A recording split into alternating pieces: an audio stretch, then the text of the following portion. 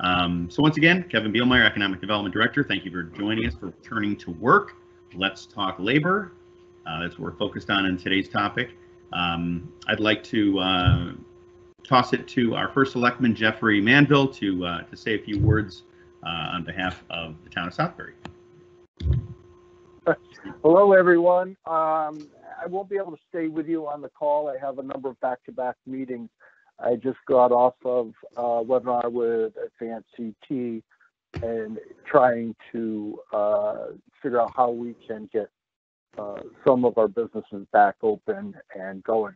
So I thank everybody for uh, attending this and asking the questions. And of course, we're going to be here to Kevin Bielmeyer is here uh, to help any of our uh, businesses through this crisis. Uh, he's going to be my uh, kind of my liaison out there because of how busy I am with other uh, COVID and various related items uh, that I have to deal with. that's keeping me extremely busy, and I will get my the feedback from Kevin and how we can assist uh, our businesses here in town to get you uh, get you back open as, as soon as possible uh, within uh, the guidelines of uh, the state and federal guidelines and in a safe manner.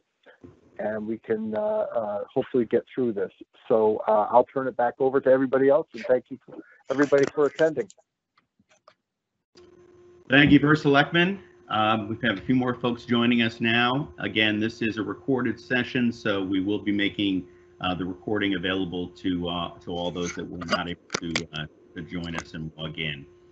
Um, so, so Kevin, I do apologize. I do. I will let you lead this. Um, I do have some uh, matters I do have to take care of um, right now, so I, am going to have to leave the uh, conversation. I apologize for that. Okay, no problem. I'll be sure to let you know if there were specific questions uh, for for yourself. Thank you, Kevin. I appreciate it. All right, and uh, as we continue this uh, conversation, um, we are focused, as I said, on this uh, topic of, of labor. Uh, so uh, for those of you that are just joining us, we do have with us uh, Catherine Awad, the Executive Director of the Northwest Regional Workforce Investment Board. Manville. Is now exiting. She, we, we don't have her visually, but we have her sonically here, so she is on the web with us, but we thank her for being here. And we have Steve Romano, the Director of the Northwest Region for the Connecticut Department of, of Labor joining us. And uh, as I said, some of uh, our folks who are joining the call uh, submitted some pre-questions, which I'll uh, get to later. Um, but at this point, um, I think um, what, what I'd like to do is start with uh, with Catherine while we have her here. And uh, Catherine, since we don't have you visually, I'm going to just pull up your um, your organization's webpage while you speak and feel free to direct me around it if you will. Um, so let me see here. I will attempt to do that and uh, share my page, your page rather. Okay. And there we go. Well, thank you very much for the opportunity, Kevin. I was um, noticing in the newspaper a few weeks ago that you had put out a survey to your businesses about uh, their their reopening likelihoods, and so that uh, caused me to reach out to you, and here we are today. So thank you for for putting this together. Um, I'm also pleased to have with me my my partner at the American Job Center in Waterbury, Steve Romano. Uh, Steve and I are responsible for the Northwest Corner, uh, which includes uh, 41 municipalities along the 84 and 8 corridor down to Redding and Ridgefield up into the northwest corner along the Massachusetts New York border. So I it's great there that you've got my website up. I'd like to just say that during this time, uh, the Workforce Board as well as the Department of Labor are currently closed to the public. Uh, we are providing services remotely and virtually through uh, Zoom, GoToMeeting, and other uh, digital platforms so that we continue to serve both the employers and those folks that are job seeking during the during this time. Um, we have worked well with Steve in terms of addressing the needs of the unemployment. Our staff, some of our staff right now, uh, we have turned our phone systems over to the Department of Labor, and our staff does does their best to answer basic UI questions. Um, as you can imagine, with nearly 500,000 Connecticut residents filing UI. There's a lot of questions about uh, filing. A lot of folks we found that didn't have the digital literacy skills uh, to, to, to, to understand how to navigate a web page to file a claim online. Uh, that was a barrier. We're, we're, working hard and continue to work hard to overcome that. Uh, and I, I, Steve's staff has been great, and and our staff has been too. So we continue to provide services. We continue to work with employers. As you can imagine, there are a certain group of employers that have remained open and steadfast during this time. We've have grocers, logistics, we've got healthcare agencies, we've got childcare entities, anything that's directly related to the continuation of services during during this crisis time. We've worked hard to get um, the, the those employers' needs met. As you can well imagine, uh, that additional $600 that was provided to folks on unemployment has served as a bit of a barrier in getting people to go back to work. In many cases, some of our lower waged workers are now um, earning more every week by staying home than by going back into the workforce. So that's a bit of a disincentive. We just want to be mindful that those additional $600 weekly payments will terminate the last week in July. So we anticipate a tsunami of people looking for work come probably late June. Uh, but in the meantime, folks that are looking for work, there's plenty out there, and we're happy to help uh, create that linkage between the employer and the job seeker. Um, again, uh, that that's you know, like I said, our website is up. It's very active. The red banner across the top is does detail our COVID works, our, our COVID uh, opportunities, and then we just recently began taking applications for our summer youth employment program. Uh, the application is online, and as you can see in that that second yellow bulleted, that will be uh, that's the online application for our summer youth program for youth ages 14 to 21, and up above uh, for businesses and job seekers. That link will take you to a variety of services information. We continue to update that on a daily basis with the governor's release regarding reopening and the necessary policies and procedures that need to be in place for your various industries to get stood back up again. All right, thank you so much uh, for that. Catherine, I'm just going to um, go back to myself. okay, and uh, at this point, I'm going to uh, pass the baton over to uh, Steve Romano. And uh, Steve, I will uh, send it to you. Take it away. Thank you, Kevin. And again, I'd like to thank you for inviting me to be on your webinar today. And Kathy Awad, thank you for your sound and solid partnership all these years. Uh, Kathy did cover a few of the things I was going to speak about, but just to kind of give you a little general state of the labor department right now, locally in Waterbury, uh, we work in very close collaboration and partnership with with Kathy Awad, the Northwest Region Workforce Investment Board, and their contracted vendors to help provide a wide array of services to employers. And that's our strongest connection. Also, the staff that work for me in the labor department, we also provide a lot of unemployment insurance services, mostly to the actual unemployed job seeker. Uh, as you would imagine now, uh, our uh, our jobs, our duties right now, our tasks are consumed with unemployment. Uh, we have our CT hires uh, link on our website where there's still plenty of job openings. I would uh, advise job seekers and employers that want to post openings on CT hires to take advantage of that. Uh, my business services representative right now is totally engrossed in the PUA project from the unemployment insurance side of things. So she's not going to be available to do a lot of the things that she normally does until around June 30th, as Kathy mentioned. It probably will be a great time for her to come back uh, to, to help get people back to work again. Also, I would like to mention that I am reporting to Waterbury every day. I've been coming here every day since the, the pandemic broke out. Uh, I like coming here. I, I, feel like I'm more comfortable in this setting, and I've been doing a lot, helping out a lot of employers and uh, job seekers and unemployed insurance claimants as well while I'm here. So I want to make that aware to everybody out there. The staff that work directly for me and a lot of the labor department staff that work indirectly for me in this office are all teleworking now. We're all home. working from home like the rest of the country.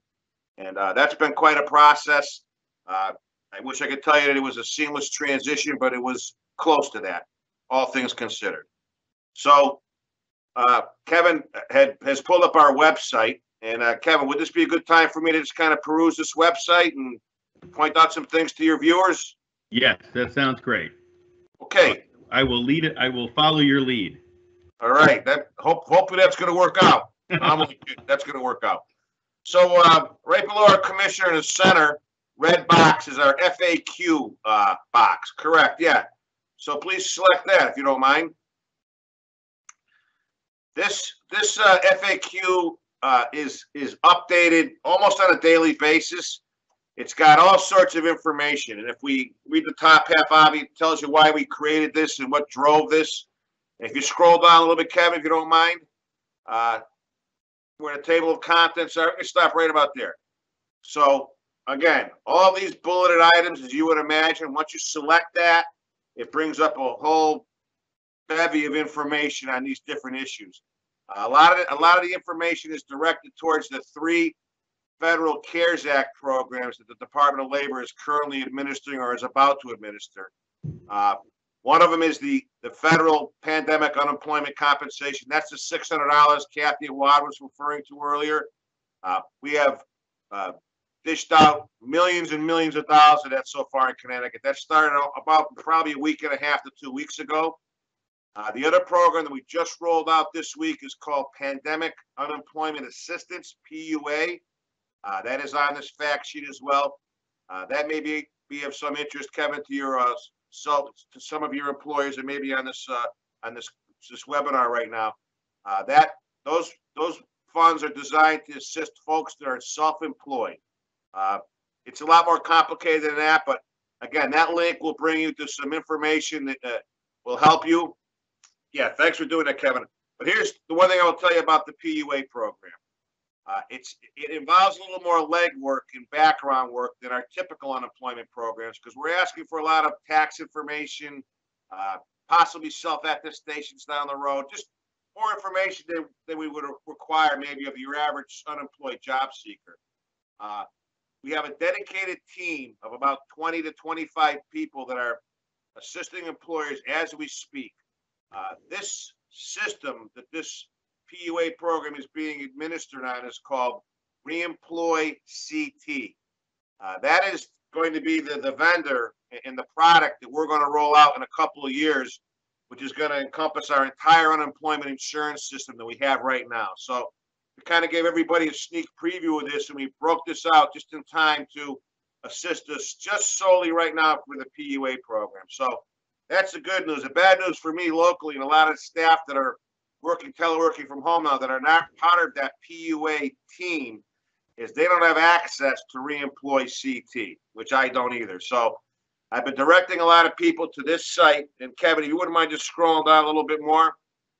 You bet. Thank you, sir. Um, okay. Yeah, you know what? We're going to take it to another site on that, on the, uh, on the link. Uh, yeah. So when we get to that red button on the on the other website, Kevin, I'll show everybody how to how to access the online assistance center for PUA. We'll do that before I stop talking, just so uh, anyone that's self-employed that's on this call is going to know where to go to to process a question to our staff so that they can assist them. Okay. Yeah. So that pretty much outlines the, the, the other two, the three federal CARES Act program. It's updated daily. Um, if you wouldn't mind, Kevin, uh, Kevin, right there, which is unemployment services. There it is. Yeah. Yeah, thank you, sir. Select that, please. Now, right in the top there, the first bullet on the left, file your claim online. And then uh, scroll down a bit, and you'll see our red PUA button. Again, and I, I will, before you do click that, Kevin, this is where everyone has to go to if you're again self-employed to file your claim. We'll say one thing though, it's a two-step process. And we get into that on that last section we just looked at it, it's going to probably highlight it here as well. Anyone that is self-employed needs to file a standard unemployment insurance claim, the 26 weeks, so to speak, okay? We need to have that information on our system because we need to determine whether or not uh, you're no, what we call no wage credit, meaning you have no earnings filed in our system. Because if, a lot of times we're getting folks that are self-employed, but they also have a part-time job. Excuse me.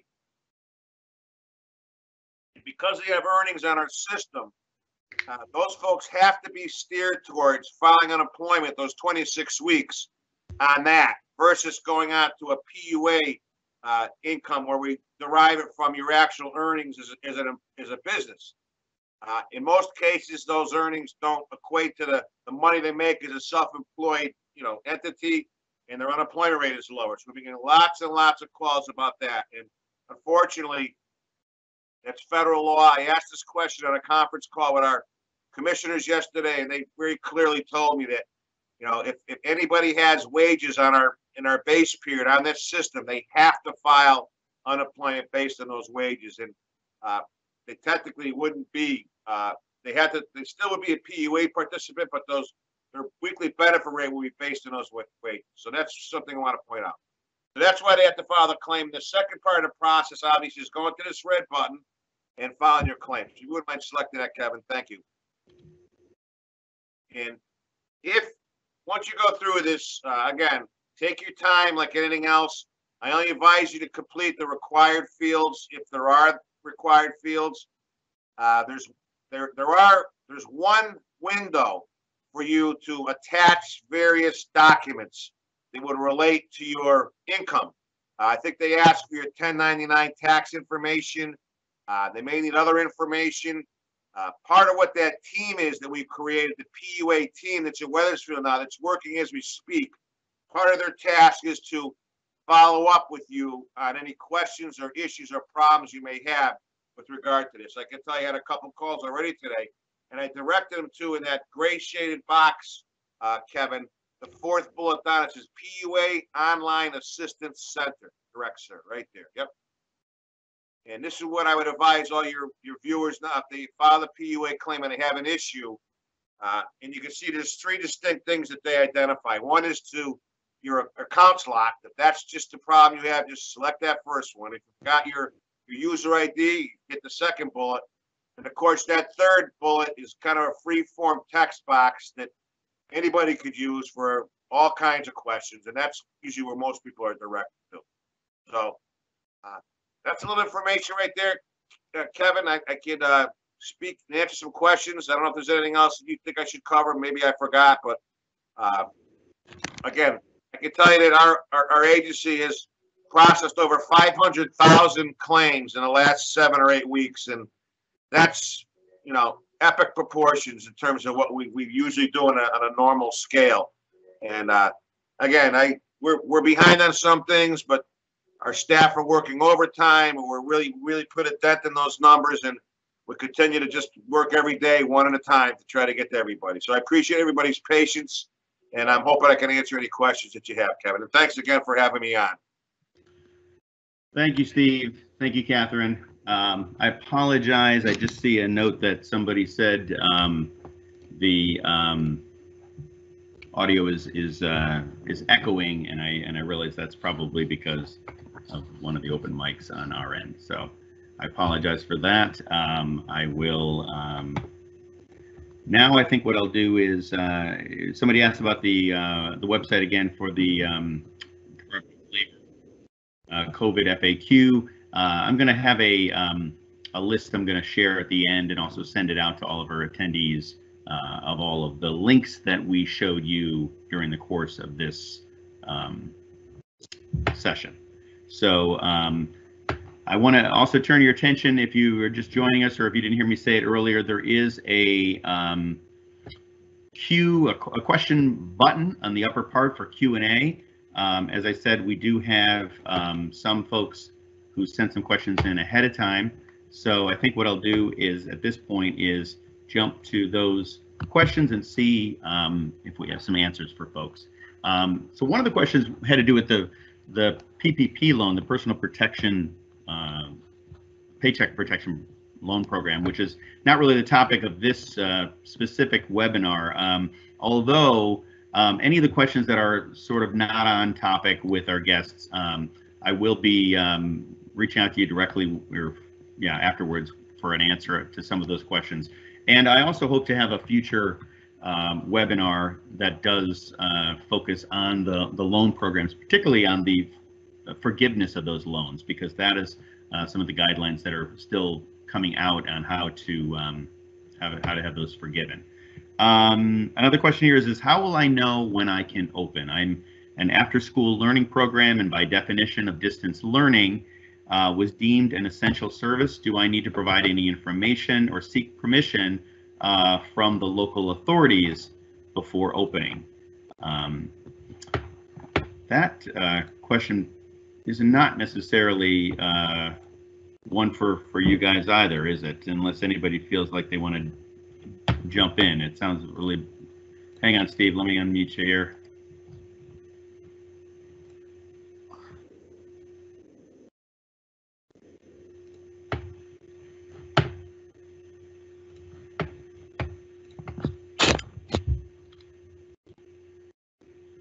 Steve, can you reach down, see if you've muted yourself for chance, for chance?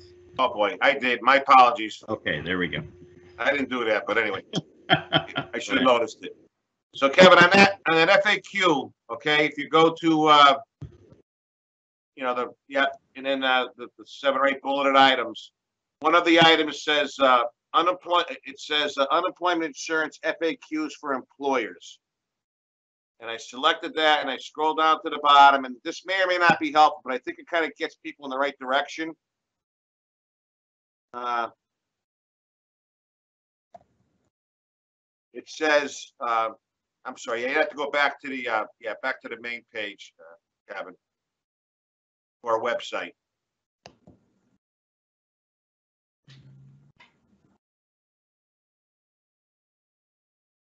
There we go. Then the FAQ box in the center.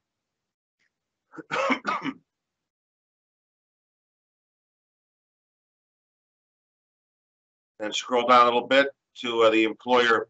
Uh, uh, yeah, unemployment insurance facts employers right there. Up one. That's it. That one right there. And almost to the bottom of that page. And that, yeah. Go farther down.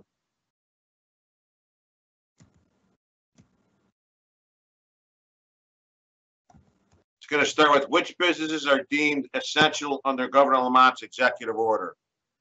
Right there. So this may not be exactly what that, what, to answer that question, but this is a site that I think could help you. And again, any further questions not answered in this guidance should be sent, to- and I think the DECD could be helpful in that sense, so. Yes. That may be something I would have them try. Kevin, I would, I would add that, yes, Steve is correct. The DECD website, as well as the AdvanceCT site, will both have a comprehensive listing and the requirements uh, that each of those industry sectors, as they begin to stand back up, should be implementing when they do so. I know there's been specific ones laid out for uh, hairdressing and salons, for restaurants, for offices. Uh, there's a significant uh, document associated with each one of those industries about what they believe are the best workplace safe practices during the reopening and when, you know, right now we know that May 20th outside, you can open up restaurants if you have outside seating. Uh, they're, then they're staggered for capacity. So I think that the good guidance will come from those websites. I'm going to be sharing those, like I said, at the, uh, at the end, um, with our group, so, uh, we can, we can do that. All right, so let's get to another question here. Um, um, this is probably for you, Catherine. How are your services changing to meet the needs of the workforce today and in the near future? What do you see as the most pressing need for job seekers today? So I would say the most pressing need for job seekers today didn't change. Uh, they need to have work readiness skills. They need to uh, be on time. They need to be diligent in their efforts on behalf of the employer. They need to communicate to the employer. Uh, with the employer, they need to be good problem solvers and members of teams. So the COVID didn't affect what a job seeker needs to bring to an employer as far as um, you know, soft skills and work readiness skills. Obviously, the the talent that the employer is seeking and the talent that the job seeker has needs to match. Uh, as far as the way we operate, uh, currently we're operating virtually. We're uh, we're doing online applications. We're using Zoom and GoToMeeting technology to hold orientations and deliver services one-on-one opportunities, meetings, uh, electronic signatures are being secured. Uh, very um, significant increase in the use of uh, our digital technology to deliver services. We see that continuing in the near future. Uh, for those clients that need to come in and meet with uh, a a case manager, the office is being retrofitted now with sneeze guards. Uh, each of the employees' cubicles will have a protective shield so that the participant or the client can sit there knowing that they're safe. There are safeguards to enter the building regarding temperature taking, wearing of masks, uh, entering in one door, exiting out another door. Uh, Our staff will begin to return, and when they do, it'll be uh, on teamed basis. We're calling them the X team and the O team. uh, And they'll be in on A days and B days. So they'll be rotating so that we don't exceed the capacity and we're careful as to where people are sitting to minimize, you know, to maximize our social distancing. Uh, so again, we're, we're delivering services virtually. Uh, I think the whole world went virtual not too long ago and uh, many of the staff continue to work from home, which is a, a whole new way to work for many of us. But uh, our services will continue. And again, as from the job seeker's perspective, uh, be on time, look them in the eye, do a good job, and you should be fine.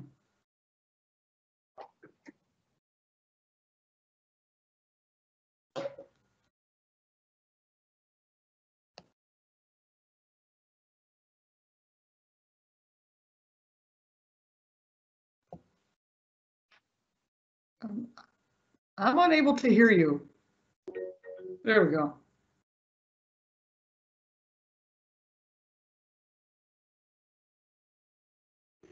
Can you hear me now? Yes, I can, yeah, no, Sorry. good. I was, I was muted, so we didn't have an echo. Um, all righty. Where did my,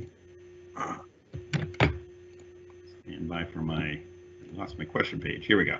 Um, if a person is offered a job, starts day one, on day two, they said that they need to be out.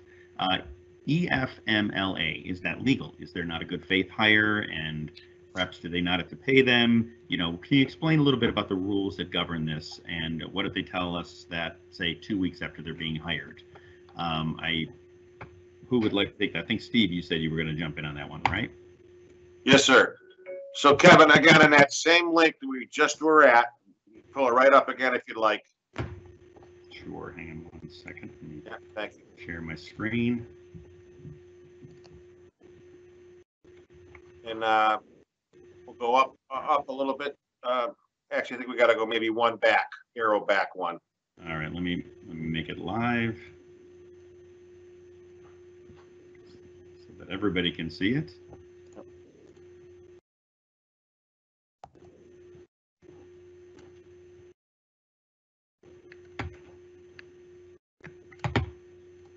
All right. Um, now everybody can see what I'm doing here, and you said I'm going back Back one screen, yep, earlier. there we screen. go. Did I kind of, perfect. And we, we mind scrolling down, please? Sure. And we have a link right there, a little up, we go. You see FMLA FAQs, right There there. Yep. And again, they don't get to a lot of FAQs, but the most important thing is there's some links that you could, you utilize to ask questions. If you scroll down a little bit, you'll see, uh, some various links there, okay? And there are f- federal links, and there's some, obviously some good questions that could possibly answer that as well. Sure. Uh, So I, I would reference this first, if I was an employer and that was the scenario you described. I, I could also say this, that again, if you're an employer and uh, you have someone that comes back to work for you, okay?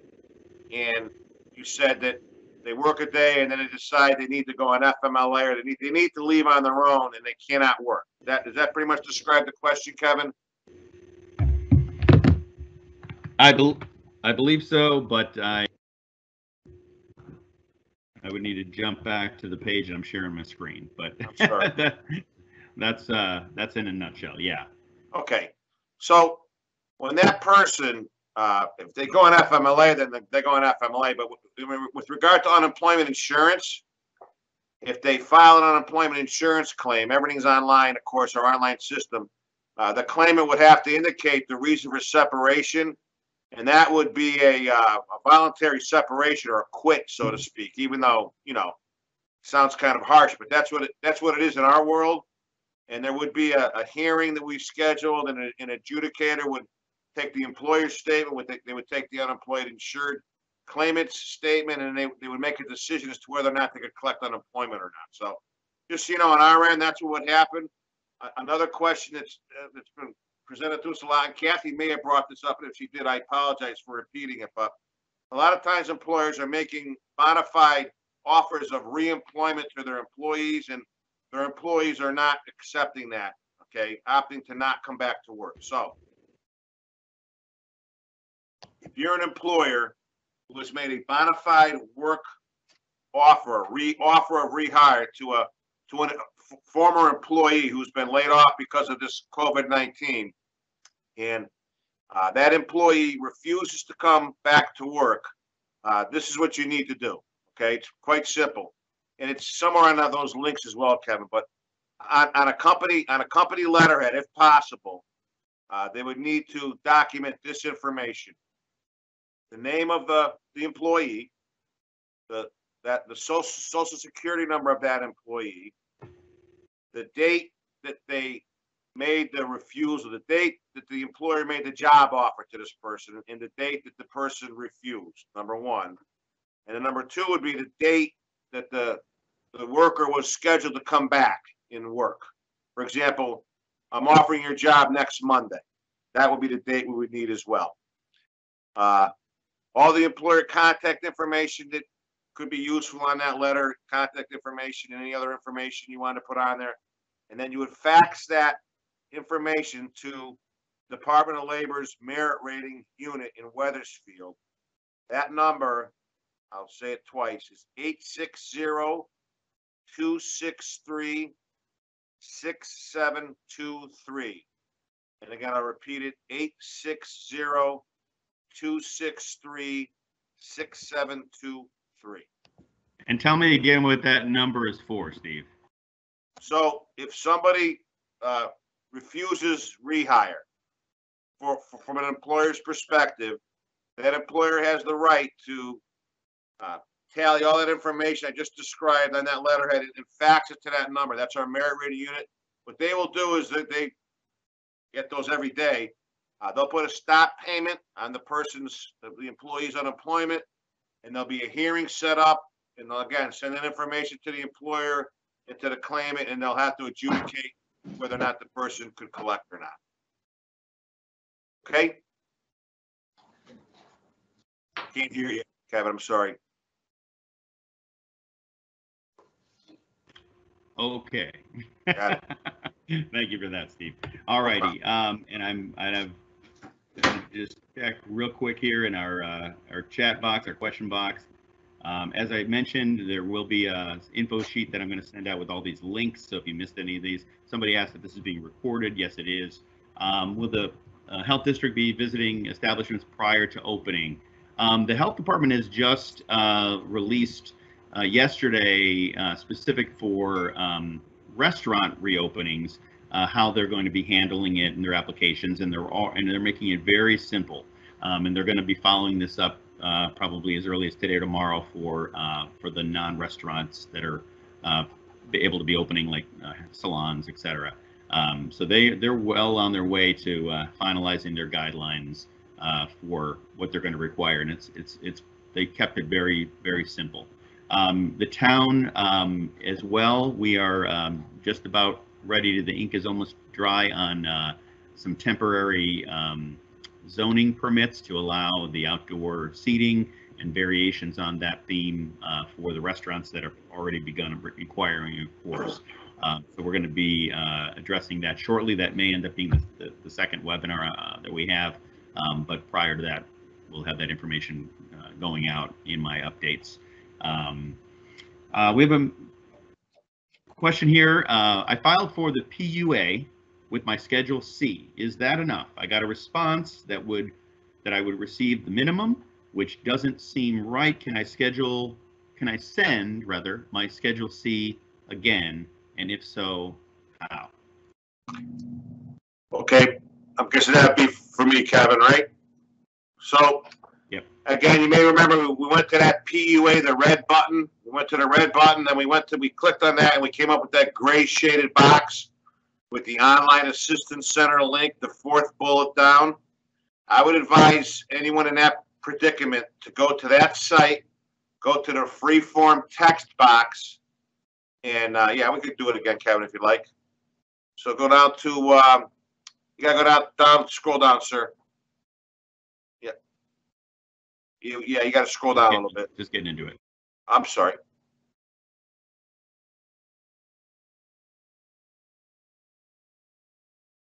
To unemployment services, right there in the top. Yep.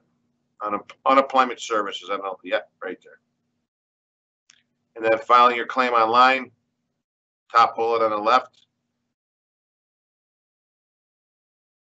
And then you'll see the PUA red box, you'll select that.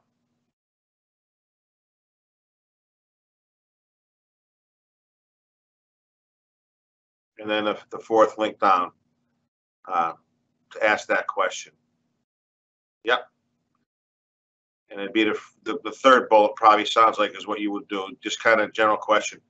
So what, what I've been told about this, Kevin, from a, we have a couple staff people that are helping on this project that, uh, self-employed people are, are, are attaching certain documents.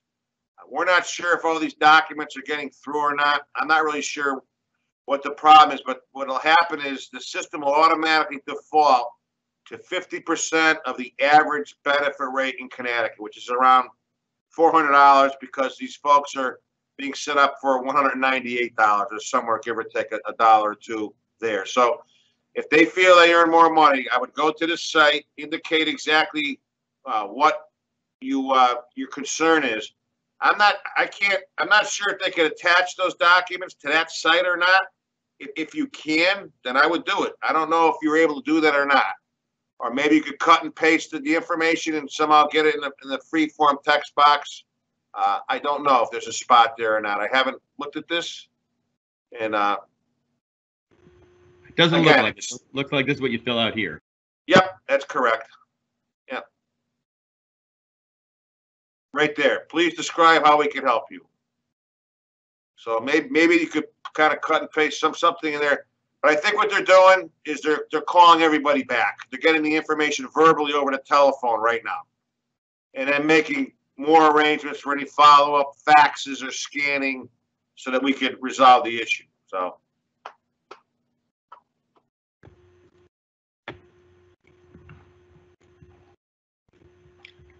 Okay. Thank you, Steve. Yep. Um, all right, and um, just double checking that I don't have another question I've missed. Uh, okay, we mentioned about guidelines for reopening. Um, I, uh, I sent information out that the uh, state has released. They have a very detailed um, sector by sector release for the May 20th for those uh, first businesses being um, permitted to open with those guidelines. Um, I also will have a link uh, to that to that same information uh, that I'll have at the end of this uh, webinar that I'll send out and make available. But um, the state has released that, and they're continuing to uh, to update their their guidelines as as they go. Uh, as you mentioned, AdvanceCT um, is is one of the sources where the Reopen Connecticut information is coming, but the Reopen Connecticut has their own website now uh, as well. Um, all righty.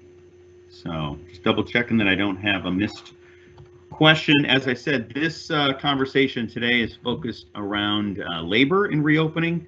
Um, we will have uh, uh, one upcoming uh, that's focused on the reopening of uh, restaurants and, and other um, businesses that are going to be eligible to reopen come May 20th. Again, it's not mandated. I think you probably have heard this. It's not required of you to open on May 20th just because you happen to fall under those uh, particular establishments that are allowed to.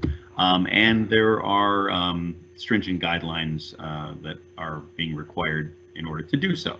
So uh, the town is um, trying to get sort of out ahead of this, uh, taking a look at those requirements, working with our planning and zoning departments, uh, as well as um, the health department to uh, to come up with those guidelines. We're um, just about there. The health department's already released uh, their uh, application. again, it's it's an it's an easy one. We've already got somebody that's gone through the process and is now on to to planning and zoning approvals for an expansion of their outdoor seating for the restaurant. So um, we're, we're well underway. Uh, we're going to do this safely. I thought we would start with having these this webinar series as we get near to these reopening dates that will continue to be coming, beginning with the first one on the 20th.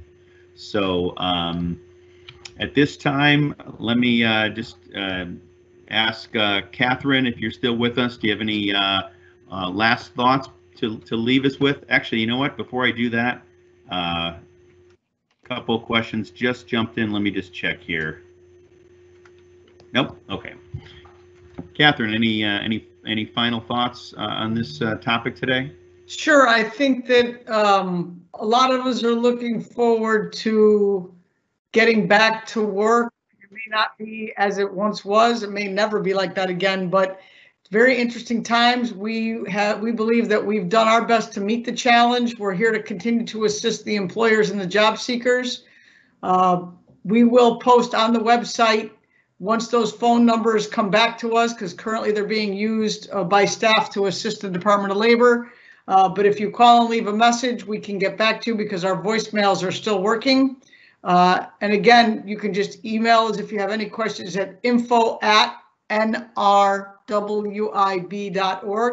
Uh, and again, we're incur- we're here. We're encouraged to get back to uh, get back to uh, work in the fashion that we used to know it, and help help those employees that are looking to get back to work get back to work, and those employers navigate what will be the new normal. Thank you, Catherine, and thanks for joining us uh, for this uh, web call um, as well. And uh, Steve, um, I know you've done a, a lot of uh, speaking on this uh, today, but I did want to throw up this uh, this uh, this update from the Department of Labor on the public assistance. And uh, I don't think we've we've put this up yet um, this afternoon. So if you want to maybe just quickly tell us what we're looking at, and um, and then any last words. Okay. So this is what we had sent yesterday, I believe. Yeah, we, we update these every couple of days and it just pretty much covers everything we're doing. Uh, in terms of the claims we're processing, it gets into some of the specifics of the, the various dates that we're going to start uh, administering the uh, F, FPUC and the PUA programs. Some helpful information. So again, another publication we send out. This this comes from uh, from our deputy commissioner, uh, Dante Bartolomeo, and uh, she does a nice job with this. And this is really great information. I get a lot of uh, we may I send this out to my network. Michelle Caffey sends it out to her network. A lot of employers and and, uh, and claimants themselves uh, find this very useful. So uh, that's something I that I will send out to everyone, and maybe we could I could send it to you as well, Kevin, send to your your constituents in the in the, in the Southbury area. And, and as far as any other closing comments, I kind of agree with Kathy. Right now that our the Department of Labor is engrossed in unemployment insurance. I'm, I'm hoping that uh, is this is this uh, is modified down the road and the claim load gets less and less burdensome that we could get back to some of the employment services we're very proud to provide and get some staff back in position to get people back to work again, as Kathy mentioned. But at least for the near future, uh, again, everyone's doing unemployment around here. Thanks, Kevin. Thank you, Stephen, and thank you, Catherine. I appreciate you joining us, and uh, thanks to everybody out there for your patience uh, with uh, with this, our first uh, Southbury uh, Return to Work webinar. Uh, we're going to try to do one of these a week on on different topics. Like I said, coming up, we'll do one on the reopening specifically around restaurants and the outdoor seating, figure out what's going on regarding serving of alcohol out, outdoors, which I know is, is of, of interest. So some creative ideas in the works there to, uh, to help everyone be able to do this um, uh, safely, of course. And, uh, and then the other, uh, probably the topic that'll follow that is uh, uh, how to navigate the forgiveness portion of the paycheck protection, um, as well as our survey, which wrapped up at midnight last night, our business survey. So we'll be presenting the results of, of that of, from our 100 participants or so of that survey. So at this time, again, thank you for joining us and uh, have a safe and wonderful day. Thanks, everybody. Thank you. Bye-bye.